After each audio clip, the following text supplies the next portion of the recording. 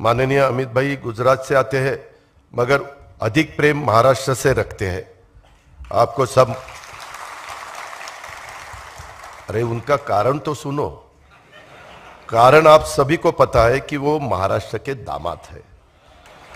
और मानो या न मानो, हर दामाद जी को ससुराल से थोड़ा ज़्यादा प्रेम हो ही जाता है। सबसे पहले अजीत दादा उप मुख्यमंत्री बनने के बाद पहली बार आए हैं और मैं इनके साथ पहली बार मंच पर कार्यक्रम कर रहा हूँ।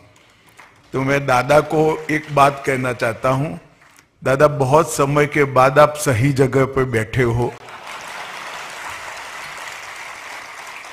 यही जगह सही थी, मगर बहुत देर कर दी आपने।